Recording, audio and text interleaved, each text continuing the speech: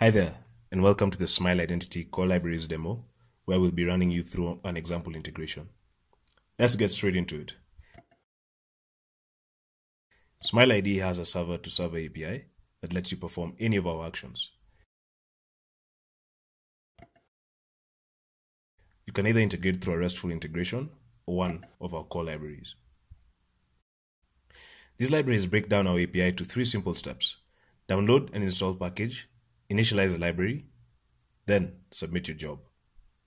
You can download any of our libraries from the following links. For example, our JavaScript library is available via NPM. Similarly, our libraries are also open source and you can grab the code from GitHub. To initialize your connection to Smile ID, you pull in the library to your project, then create an instance of the API. You only have to do this once. And then straight after that, you can submit the job. I'll get back to this later.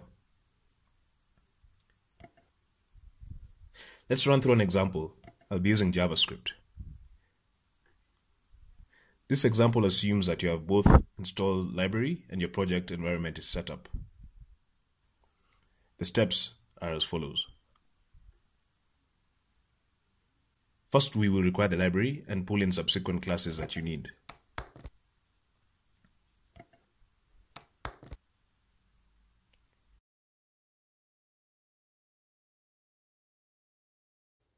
Then we go ahead and initialize the API.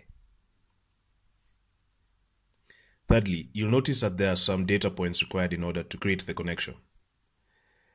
Let's grab those from the sample code.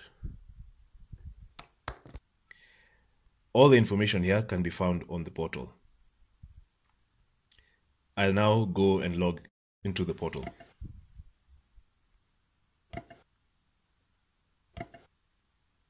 Your partner ID is up here. This is a unique number associated with your account.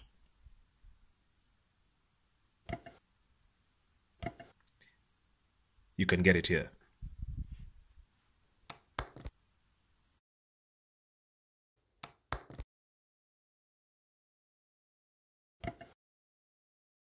Next, we require a callback because our service is asynchronous. I've made a dummy endpoint to use in this example. Now let's go back to the portal. You'll notice both an encoded and a decoded key, and in some instances you'll see one or the other. We're going to use our encoded key in JavaScript. This is where you will use your API key Lastly, SmileID server is an environment that you'd like to run your jobs on, either for sandbox, which is zero, or one for production. We'll be using sandbox for this example. That's initialization done. Now we're ready to submit a job. You'll see that there are other data points that are required to submit your job.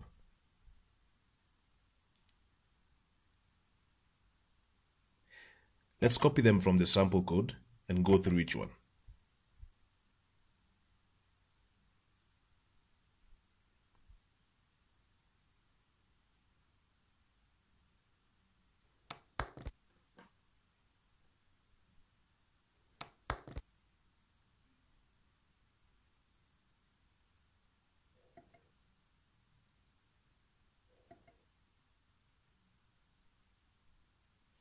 First, Parameters are used to keep track of jobs from your end.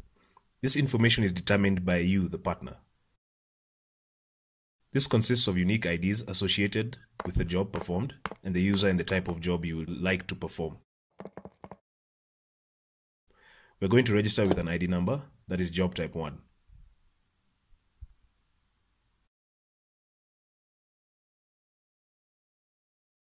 These are all job types that involve photos which is why you'll see this image list. We're only going to provide one image. Let's get rid of that. The image will be the selfie and it will be an image that is sitting on my machine. You can also provide a base 64 encoded version of the photo. This determines the image type ID. This is the photo I will be using. This is a physical file on my machine. The path to the photo is in my main folder.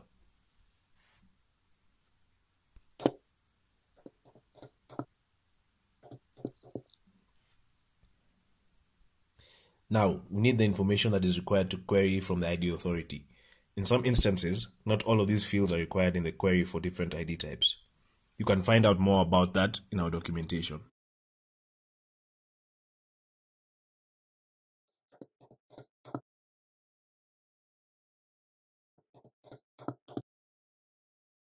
We need specific keywords used for country and the country code. You can find these in our supported ID types section. We're going to be doing a Kenya and national ID scenario.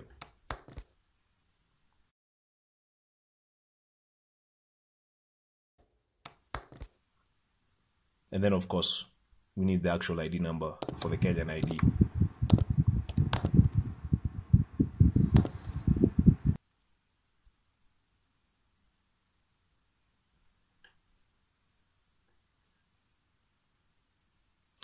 Enter is used to confirm that all the information is provided and we'd like for it to be used.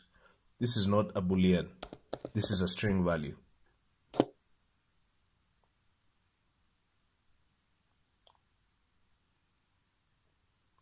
Lastly, how do you want our results to be returned? These are the options we're choosing for the job.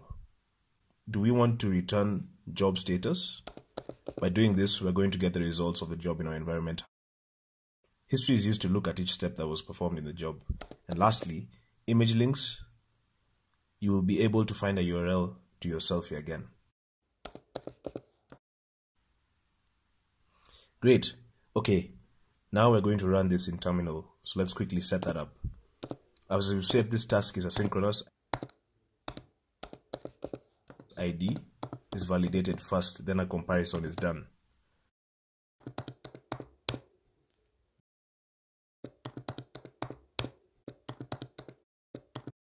Let's go.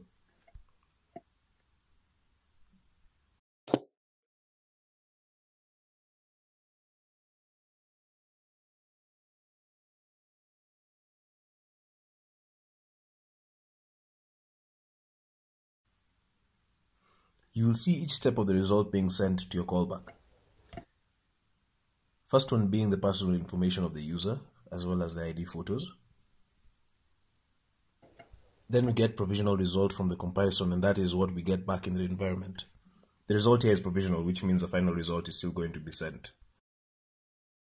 You'll notice that the liveness check is under review. This means that it has been sent to human reviewers to do a manual check. The job is complete and liveness check has passed. Let's check out the portal. There's the latest job. Here are the photos. The selfie and the photo from the ID authority. Here is the information that we get back about the user from the ID authority and the actions performed by Smile Identity. Thank you and happy integration.